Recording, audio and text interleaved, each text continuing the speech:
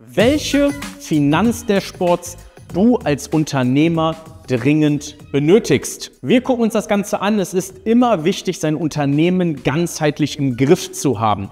Hier vor allem auch die Zahlen im Griff zu haben. Dafür gibt es Dashboards, dass man sich das anschauen kann, sowohl auf seinem Laptop als auch auf seinem Handy, dass du hier genau siehst, wie läuft es gerade in deinem Unternehmen. Jetzt hast du natürlich tausend verschiedene Datenquellen, die müssen irgendwie zusammengeführt werden. Und jetzt ist es wichtig, welches sind die fünf zentralen Finanzdashboards, die du brauchst, um deine Firma ganzheitlich steuern und führen zu können.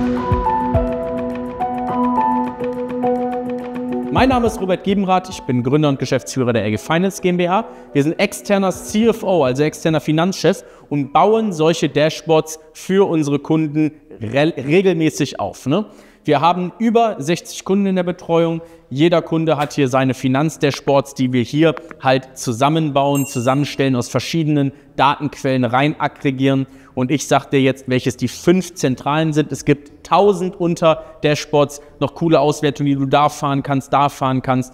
Also du kannst hier, du kannst dich hier äh, noch und nöcher reinknien. Aber fünf Dashboards sind hier wirklich von zentraler Bedeutung, die du ganzheitlich benötigst. Und ich sage dir jetzt, welche es sind und zeige dir sogar auch Beispiele, wie solche Dashboards grundsätzlich aussehen können. Also, starten wir mal rein. Das erste Dashboard, was du dringend benötigst, ist eine KPI-Übersicht. Das bedeutet, dass du eine Übersicht über alle Key Performance Indicators oder zentralen Kennzahlen hast, die die Performance deines Unternehmens steuern. Das bedeutet zum Beispiel, wenn du jetzt zum Beispiel eine Agentur bist, dann musst du äh, gucken, dass du deinen Vertrieb, dein Marketing im Griff hast, dein Personal im Griff hast und zum Beispiel auch deine, deine Finanzen und dein Fulfillment im Griff hast. Dann guckst du dir zum Beispiel an, um das hier ganzheitlich abzubilden, guckst du dir an und definierst hier deine wichtigsten Kennzahlen. Das können sein, wie viel Adspend hast du selber, wie ist aktuell deine Closing Rate, wie viel Neukundenumsatz hast du gemacht. Das gucken wir uns an, damit wir wissen, okay, wie läuft es hier im Marketing und Vertrieb, dann gucken wir uns an, wie viele aktuelle Kundenprojekte hast du, wie ist aktuell die Churn Rate, wie viele Kunden kündigen, damit du das auch siehst, wie ist die Kundenzufriedenheit entsprechend, ne? wie viele überfällige Projekte hast du zum Beispiel, um hier zu gucken, ob hier irgendwas äh, sehr, sehr gefährdet ist. Im Personal, wie viele eingehende Bewerbungen, wie viel, wie viel Mitarbeit hast du aktuell, wie ist die Krankheitsquote, ne? sowas guckst du dir dann an. Im Finanzbereich, wie ist dein Cashbestand, wie ist dein, wie ist dein, offene, wie ist dein offener Forderungsbestand, wie hoch ist aktuell dein Gewinn, wie hoch ist gerade dein Umsatz auf den Monat gesehen und so weiter. All das brauchst du in einer Übersicht, dass du dir auf einen Blick, dass du ihn siehst, zum Beispiel KPI-Boards gucken wir jeden Montag, gucken wir die im Führungskräfteteam an.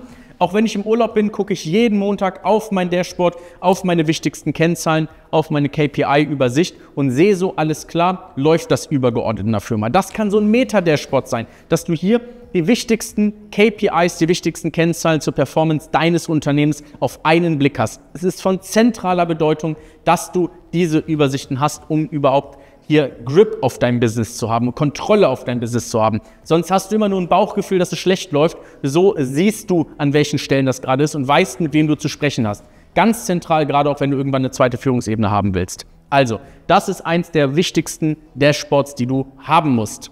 Kommen wir zum zweiten Finanzdashboard. Das ist eine G&V-Übersicht. G&V, Gewinn- und Verlustrechnung. Das bedeutet, in dieser Übersicht siehst du konkret, wie viel Umsatz machst du und wie sind deine Kosten. Personalkosten, Raumkosten, Fahrzeugkosten, Versicherungen, Abschreibungen, sonstige Kosten und so weiter. All das siehst du hier im Blick und siehst dann auf der Basis auch, machst du gerade Gewinn oder Verlust. Das bedeutet, wie ist dein Ergebnis? Und diese Übersicht brauchst dann eben, dass du siehst, okay, Januar, Februar, März, April, wie läuft es gerade in der Firma? Wie sind meine Trends? Dass du hier auch ein paar Übersichten, ein paar Balkendiagramme hast, dass du siehst, okay, wie ist der Verlauf? Wie ist meine Saisonalität? Wann habe ich wieder ein Sommerloch? Habe ich überhaupt ein Sommerloch? Genau diese Dinge müssen, können daraus geguckt werden, dass du auch weißt, wann du welchen Gewinn machst und dass du hier siehst, hier siehst du, machst du überhaupt Gewinn? Bist du mit deiner Firma rentabel? Wenn du solche Übersichten nicht hast, ist das echt beängstigend, ne? Du hast solche, sowas kriegst du auch, das ist das, was du auch vom Steuerbüro bekommst, ne? monatlich diese BWA, die dann halt ein bisschen nach hinten guckt. Aber in dieser G&V-Übersicht wichtig ist auch den Plan hier mit drin zu haben. In einer BWA vom Steuerbüro hast du immer nur die Ist-Zahlen. In einer richtigen G&V-Übersicht als Dashboard brauchst du sowohl die Ist-Zahlen aus der Vergangenheit als auch die Planzahlen. Wo, was hast du denn geplant? Wenn du sagst, ey, ich möchte dieses Jahr 5 Millionen Umsatz machen, was bedeutet das? Wie viel machst du im Januar, Februar, März, April? Dass du hier immer eine aktuelle Hochrechnung hast und guckst, ob du wirklich deine Ziele hittest oder nicht. So, also G&V-Übersicht, mega, mega wichtig. Jetzt kommen wir zum dritten Thema. Das ist das, was die Insolvenz verhindert quasi. Und das ist eine Liquiditätsübersicht. Das bedeutet, hier solltest du vor allem deine Liquiditätsplanung sehen. Was planst du in den nächsten Wochen und Monaten? Das bedeutet, wie entwickelt sich dein Cashflow? Wie sind die Einnahmen? Wie sind die Ausgaben? Wie ist der Cashflow? Wie ist mein Anfangsbestand vom Konto? Wie ist mein Endbestand vom Konto? Dann kannst du sehen, ob zum Beispiel die nächste Steuernachzahlung dich ganz schön unter Wasser drücken würde oder ob du äh, noch irgendwie, ob du dir überhaupt leisten kannst, jetzt das nächste größere Büro zu nehmen. Kannst du dir leisten, Mitarbeiter einzustellen? Hast du hier vielleicht irgendwie ein paar Kosten, die dich jetzt äh, außerordentlich belasten?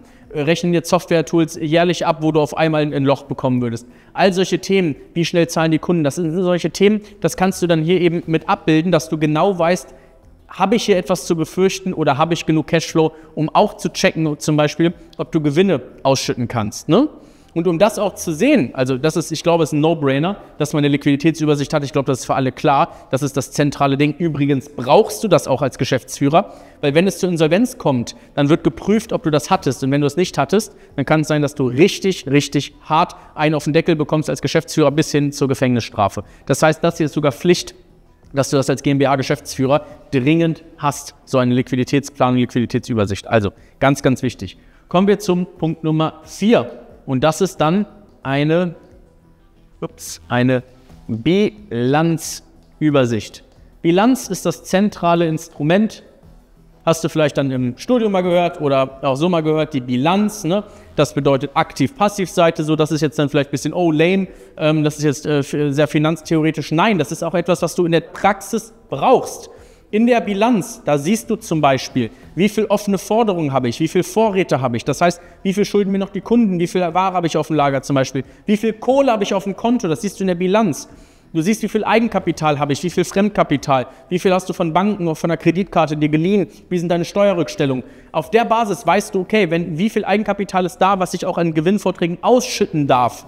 Ist es auf der anderen Seite da, ey, irgendwie zahlen meine Lieferanten zu langsam, habe ich hier ein Risiko, dass ich bald wieder in Zahlungsschwierigkeiten kommen werde, was du in der Liquiditätsübersicht entsprechend wieder siehst. Das heißt, hier die Bilanz spiegelt immer die Wahrheit wieder und ist das zentrale Finanzinstrument für jedes Unternehmen. Das muss jedes Unternehmen haben. Normalerweise siehst du sowas aber nur einmal im Jahr, rückwirkend im Jahresabschluss von deinem Steuerbüro und dann kannst du es vielleicht noch nicht mal richtig lesen. Das heißt, du brauchst hier natürlich, gerade als praktisch orientierter Unternehmer, brauchst du auch Auswertungen von dieser Bilanz. Das bedeutet, wie, ist, wie sind deine Quoten dahinter?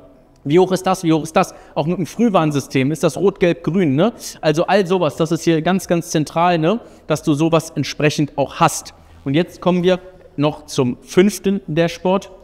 Und das fünfte Dashboard ist dann auf dieser Basis, weil du hier hast du ja immer die Ist-Zahlen und die Planungen auch drin, dass du in der Gesamtübersicht einen Plan-Ist-Vergleich hast.